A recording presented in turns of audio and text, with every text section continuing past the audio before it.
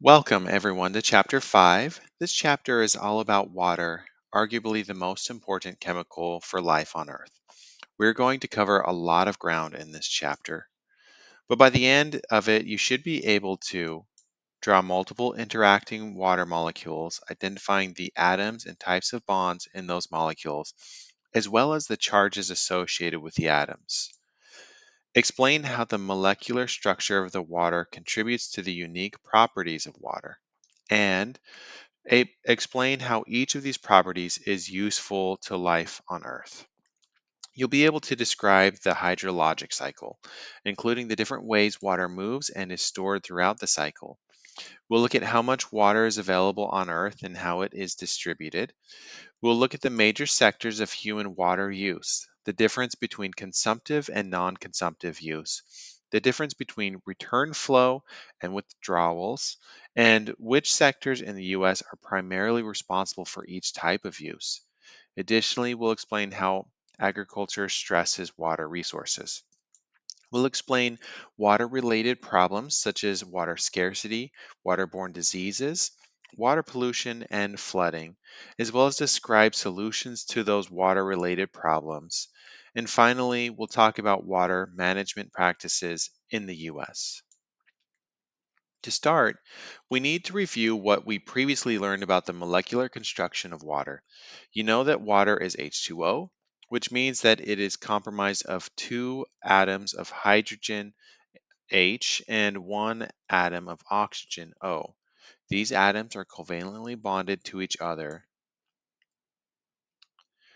meaning that they share their electrons with each other. Remember, ionic molecules transfer electrons between their atoms. Covalent molecules share their electrons. And this sharing relationship is not an equal one because oxygen is far more electron greedy than hydrogen is, and it will draw the electrons towards itself and away from its hydrogen atom partners. As a result, the distribution of the electrons is more concentrated around the oxygen atom and less concentrated around the hydrogen atoms. You'll recall that electrons carry a negative electric charge, and so this makes it so that the oxygen atom is slightly negative because it's got a heavy load of electrons on it, while the hydrogen atoms uh, are slightly positive because it's because the negative electrons have been drawn away from them, leaving the positive protons in their nucleus to be the predominant charge. Consequently, we describe water as a polar molecule because it has separate positive and negative poles within its structure due to this uneven electron sharing.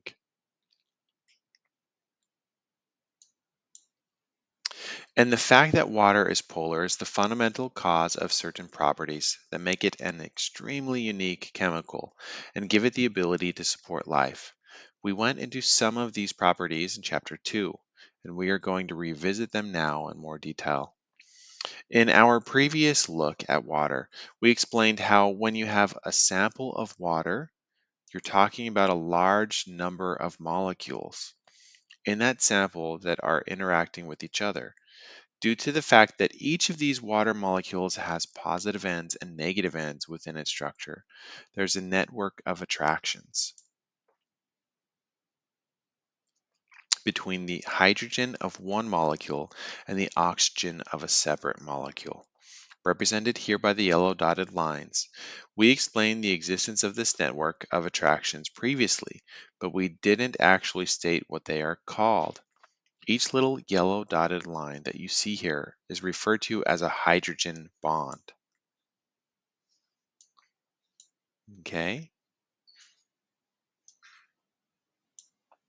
These hydrogen bonds bring about a certain bring, bring about certain water water properties as a chemical, one of which is called cohesion. Cohesion is the tendency of water molecules to stick to each other.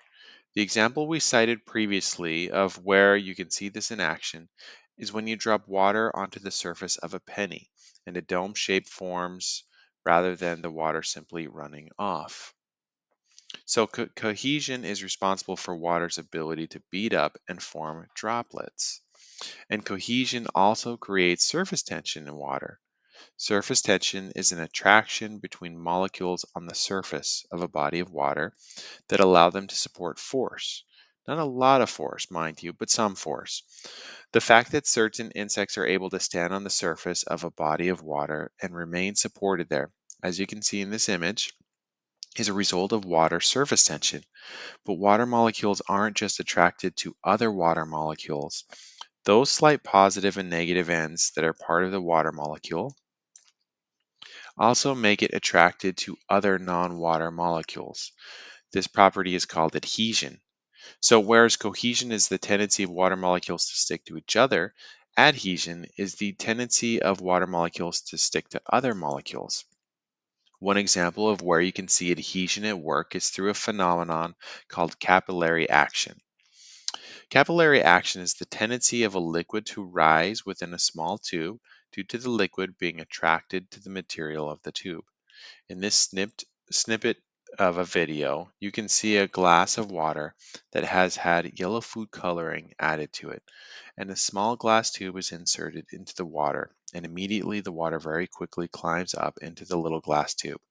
No one is sucking on the tube like a straw, the water just jumps up on its own because the molecules are attracted to the glass of the tube. The water doesn't climb all the way up the tube because gravity doesn't allow it. But for certain for a certain distance, those adhesive forces are stronger than gravity. So as a small amount of the water can climb. This might seem like it's just a neat little demonstration exercise, but it's actually very important for living organisms because capillary action is how water moves through up and through plants, traveling from the root system up to the stems and shoots and other parts of the plant. And capillary action is also involved in the movement of blood through the circulatory system, so it serves a biological purpose. Another important property of water that arises from its polar molecule, from it being a polar molecule, is that it is the universal solvent on Earth.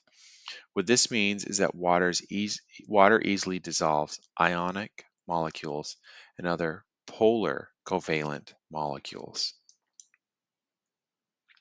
The existence of this network of attractions within water, which we now know are called hydrogen bonds, makes it so that other substances that also have any sort of electric charge can be dropped into water and they will fit right into that network of attractions.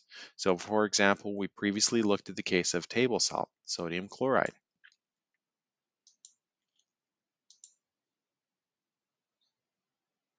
The chemical abbreviation for which is NaCl.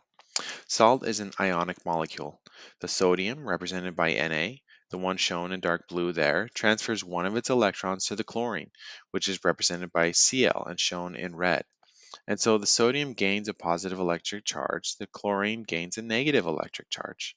And when you put the whole thing in water, those electric charges play well with the charges that are present in the water molecule and water molecules.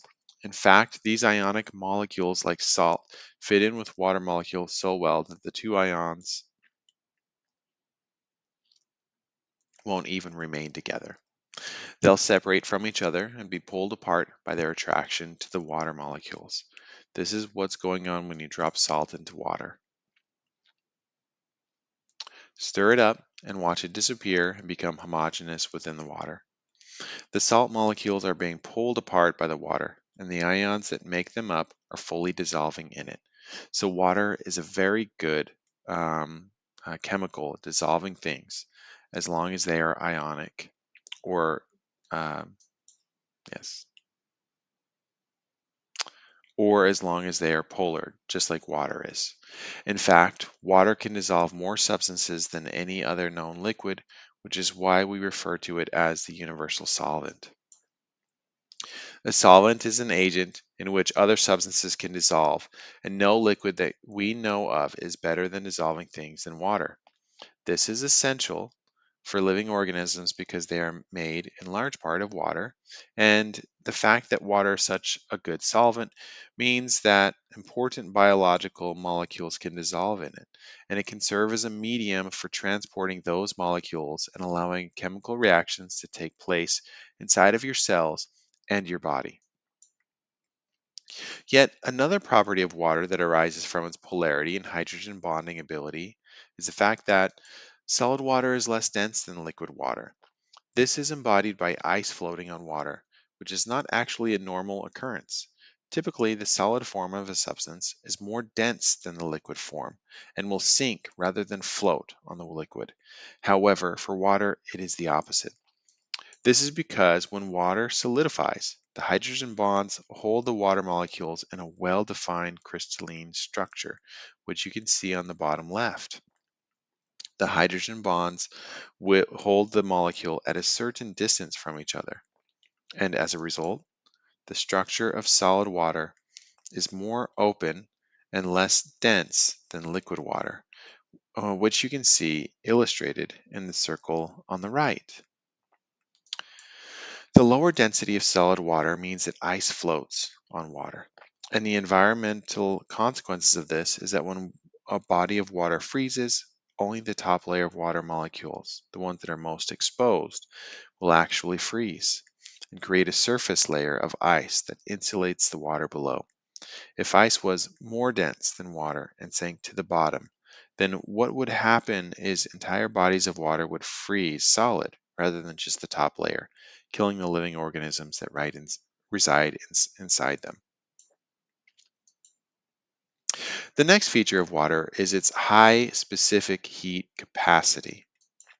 We touched on this before when we discussed how water is able to maintain a stable temperature. And I had posed to you the thought experiment of which would you rather do on a hot summer day? Lay on the hood of your car or jump into your pool? The answer is the pool because unlike the car, the temperature of the pool is reasonable in spite of the heat. Why does water maintain a stable temperature? Well, what temperature of a substance actually measures is the kinetic energy of its molecules. Remember, kinetic energy is the energy of motion. And so when we say temperature measures kinetic energy, uh, what we mean is that temperature measures how much and how quickly the molecules in that substance are moving and vibrating and churning around. More molecular motion means the temperature is higher. In the case of water, the network of hydrogen bonds between the molecules keeps them stable and steady and prevents them from moving even when exposed to high amounts of heat. Therefore, the temperature of, of the water remains relatively stable because its molecules stick together and resist increases in their movement. The temperature stability of a substance is wrapped up in a measurement we call specific heat capacity. Specific heat capacity is the amount of heat energy required to raise the temperature of one gram of a substance by one degree Celsius. And water has the highest specific heat capacity of any liquid. This uh, meaning that it takes more heat energy to increase the temperature of water um, uh, by one degree Celsius uh, the chart on the right gives you a sense of how the specific heat capacity of water measures up to some other substances. For water, it takes one calorie of energy to raise one gram of it by one degree Celsius. For oil, it takes less than half of that amount of energy, uh, 0.4 calories. For alcohol, it's 0.57 calories. Dry soil or sand is 0.19 calorie. Wood is 0.14 calorie, and iron is 0.11 calories. So as you can see, compared to other substances, it takes much more energy to increase the temperature of water. Related to water's high specific heat capacity is its high heat of vaporization. Water doesn't just maintain a stable temperature, but a stable state of matter meaning that it resists changes in its state, whether it's a solid, liquid, or gas. Whereas specific heat capacity is the amount of energy required to raise one gram of a substance one degree Celsius. Heat of vaporization uh, is the amount of heat energy required to change one gram of a liquid into a gas. And just like water has a very high specific heat capacity, water has a very high heat of vaporization. It takes a lot of heat energy to turn liquid water into water vapor, which is the gaseous form of water. That's because once again, the hydrogen bonds between water molecules cause them to stick together and make it difficult for individual water molecules to break free from the liquid and transform into a gas, which is exactly what happens when something goes from liquid to gas. Water's resistance to vaporization is important for living organisms because, as you can imagine, if water evaporated easily, then the water inside living organisms would be at risk of turning into vapor when it gets hot outside. On that same note, entire bodies of water, like lakes, would be at risk of evaporating when it gets hot. So, water's stable state of matter prevents this from happening. So, that's a lot of highly detailed information about the chemistry of water. So, before we close out, let's summarize what we've just learned in this section. Water is a polar molecule that has slight positive and negative charges within its structure. This causes a network of hydrogen bonds to form between water molecules when you have a large number of them. As a result, water molecules exhibit cohesion, the tendency of water molecules to stick together, which leads to their ability to beat up and form droplets, as well as adhesion, the tendency of water molecules to stick to other non-water substances, which leads to their ability to travel via capillary action, which is a force that mediates movement of water through living organisms, for example, through plant roots. Water also serves as a universal solvent for molecules that are ionic, as well as ones that are polar. These molecules can dissolve in water because they, too, have charges within their structure that can interact with the charges found on the water molecules. The solid form of water is less dense than the liquid form of water because when water solidifies, it forms a crystalline structure where the hydrogen bonds hold the water molecules in a well-defined pattern that opens up the structure of the solid material. As a result, ice floats on water and aquatic organisms don't freeze solid in bodies of water because only the surface level of water turns to ice. Water also has a high specific heat capacity meaning that it has to absorb a lot of heat before it changes temperature. So it maintains a relatively stable temperature, which is important for living organisms.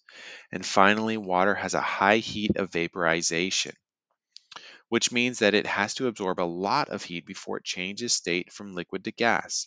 So it maintains a stable state as well, and that is important for living organisms too.